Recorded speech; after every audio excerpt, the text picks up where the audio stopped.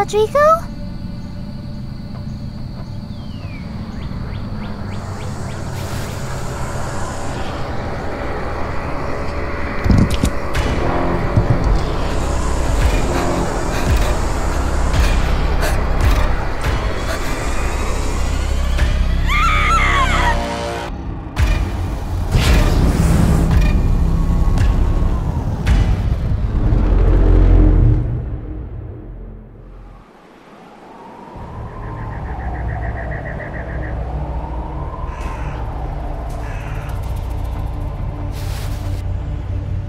Uh, sir? That's evidence. What? And waste the good stuff? And here comes intelligence, like clockwork, sniffing around as usual. What's the reason this time?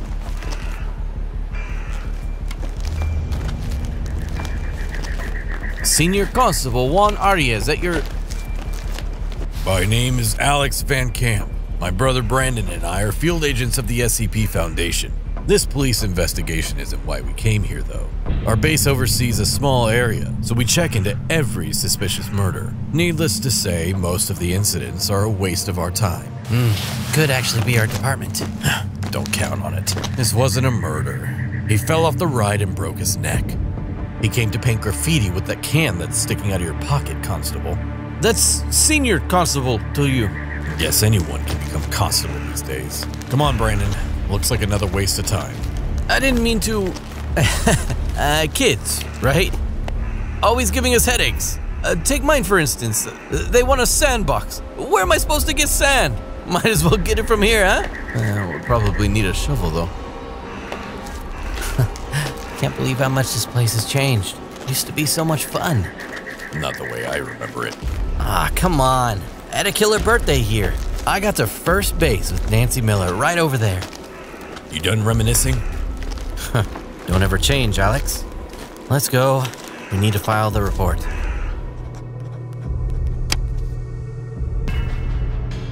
Nothing abnormal, sir. Again. In the morning, we received disturbing news. Just outside the city to the northwest, workers were building a new IKEA store and lived nearby in temporary trailers with their families. Every individual, except for a single woman with her child, were found dead. The Foundation wasn't about to ignore this incident. I don't know, Brandon. I feel like we're wasting our time again. Ten bucks says some drunkard had too much and killed everyone off. I'm sure this time will be different. Look there. Miss Simone the Weasel Cruz is already here. I ordered them to load up the bodies while you were on your way. They all had their necks snapped. Any fingerprints? Not a single one. Survivors in the trailer was about to question her. Better leave that to us. But I'm the one who. I'm sorry, you were saying, intern? I am not an intern anymore.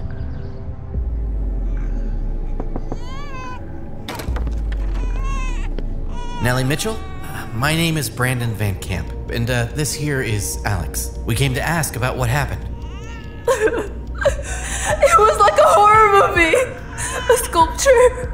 Oh god. A damn concrete sculpture.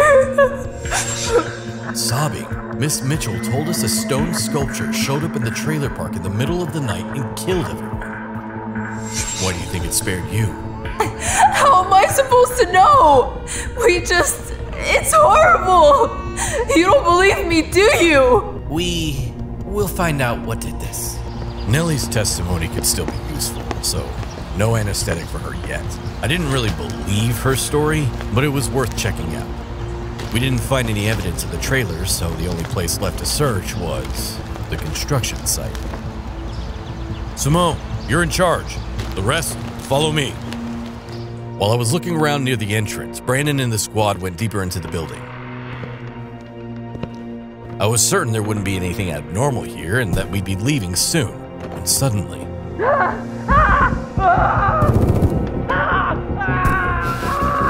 What the? Brandon! Brandon! Answer me, damn it!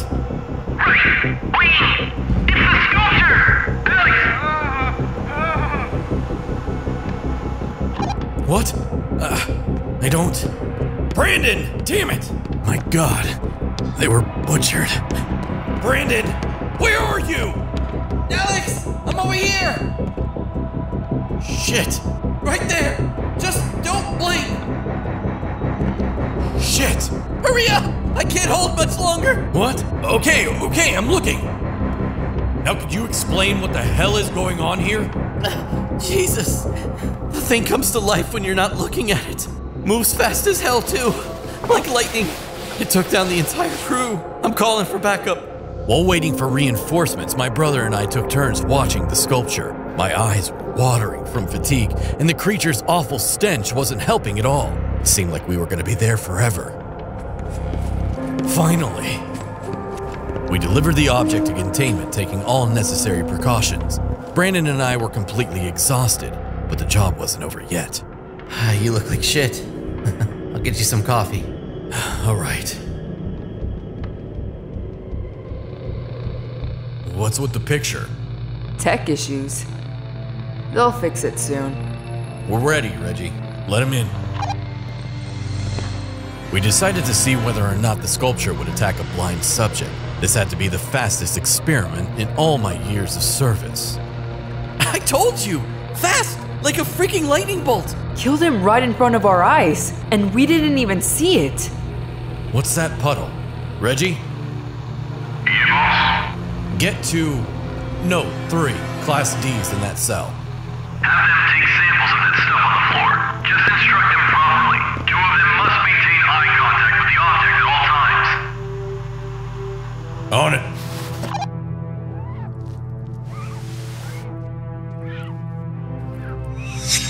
The lab quickly determined that the reddish brown puddle in the cell was blood mixed with excrement.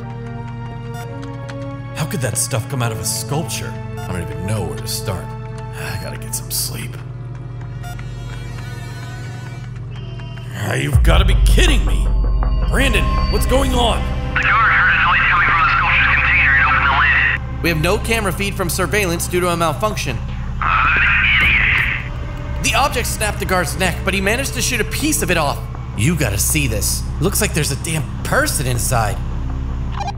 We took the sculpture to be x rayed. It's unreal. There was somebody's body trapped inside. Now it's clear where the blood and that stench came from. Oh, God, it stinks. Ah, We need to identify the body. I bet he's our anomalous object. We smashed the sculpture and extracted the male body. It was pretty banged up. The body was sent for DNA testing, and the pieces of concrete were to be incinerated. I wanted to get a nap in, but Simone told me they'd identified the body. A man named Norman Mitchell. Here's the kicker the husband of the only survivor, Nellie Mitchell. I had to go back to the trailer park and have a chat with the lady.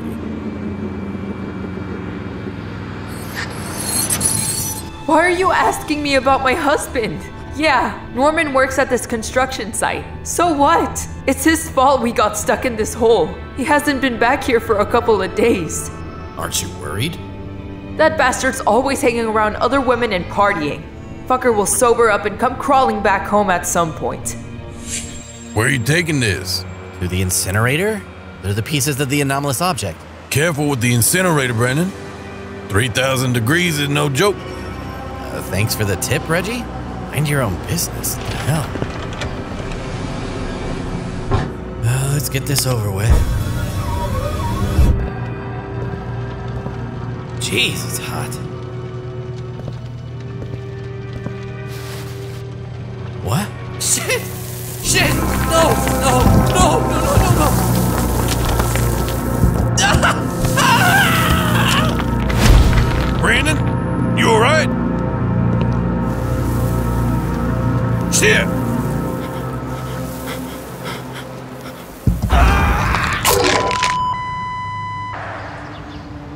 After talking with her, it became clear that Norman was an ordinary person without supernatural abilities, except for his drinking problem and visits with promiscuous women. So, what made the sculpture with the poor guy inside move? Uh, thank you, Miss Mitchell. Alex here. Alex, this is Simone Cruz. We have an emergency here. The sculpture seems to have escaped. What do you mean? We smashed it to pieces. That's not all.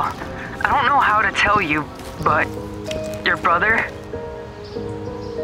I- I'm on my way.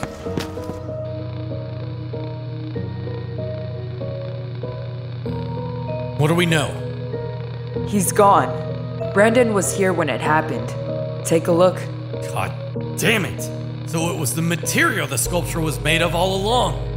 The object killed the guard too, then killed three more and escaped? That's not an option. That is my brother. I'm so sorry, Alex. Damn it, Brandon. I knew something like this could happen to us. But why did it have to be you? It's all over. I have no one left now. Brandon was my only family, and I would have done anything it takes to get him back. But then I remembered Nellie Mitchell and her little kid. Why didn't the sculpture hurt them? That's when it hit me. Holy shit, this better work.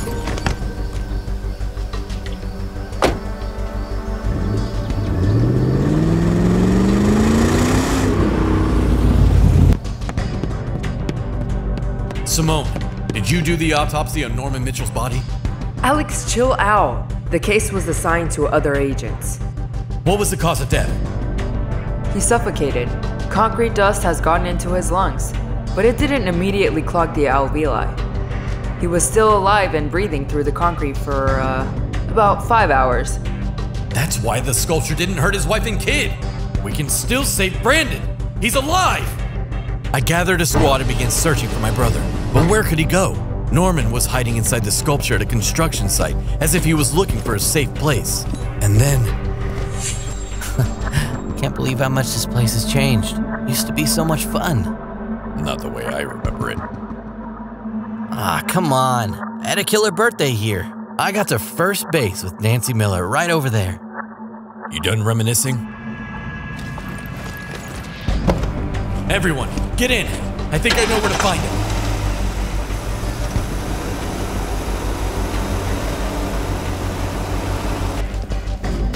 We need to hurry. We don't have much time. Please be alive. Remember, maintain eye contact. Don't turn your eyes away from it. The sculpture won't do anything unless you let it. Shit. The park is too big. We might not make it. It was a risky move, but I had no choice. I ordered the soldiers to split up and sweep the area. Less than 15 minutes later, I heard gunfire. No, no! Cease fire! You're firing at a friendly! Capture the object, but don't hurt him! I was right. Brandon was here, but it wasn't gonna be easy to stop the sculpture. Brandon, hang on, man. I'll get you out of there. You idiot! Turn off the light! Damn it! Stay alert.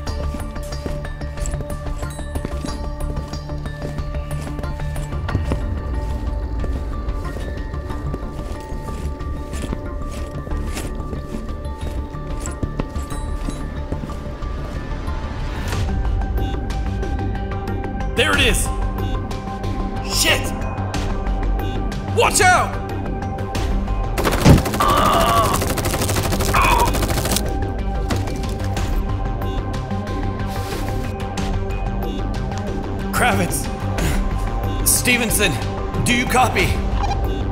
I must be the only one left. Just me and that damn sculpture. Brandon, please. You have to still be alive. Brandon! It's me, Alex. Brandon, I, I know you're in there. Stop! Can you hear me?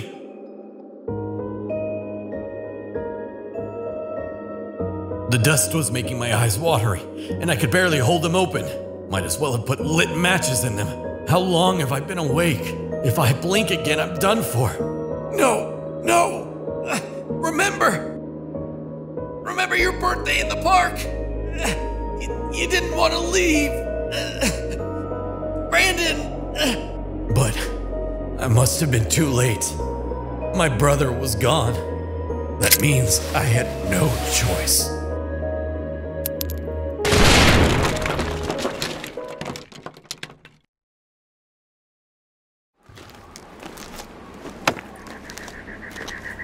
What happened here? And who the hell are these people? Sir, we have guests again. Officer Arias, And who are you supposed to be? that's none of your concern. There was a potential deadly virus leak here. You need to get vaccinated immediately.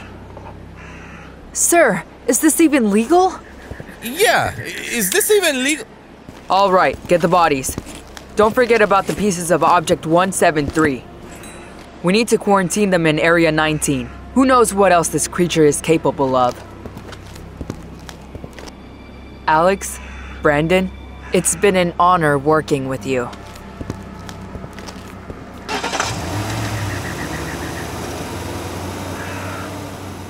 What are we doing here? I don't remember. Wait, hold on. Sir, I think you said you wanted to get some sand? Oh, damn. You're right. I promised my kid a sandbox. So, why are you here? Uh, what? You, you think I can't handle some simple task on my own? Like I need backup or something? Well, don't just stand there, slackers. Make yourself useful already.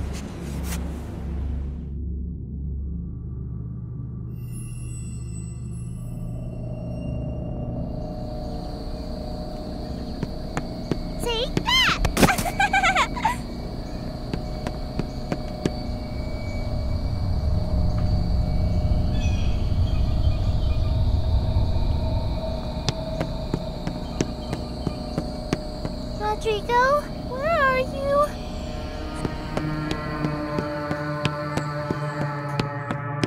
Daddy, Daddy! There's the weird doll! It's moving! Come on, didn't I make that sandbox like you wanted? Go play over there.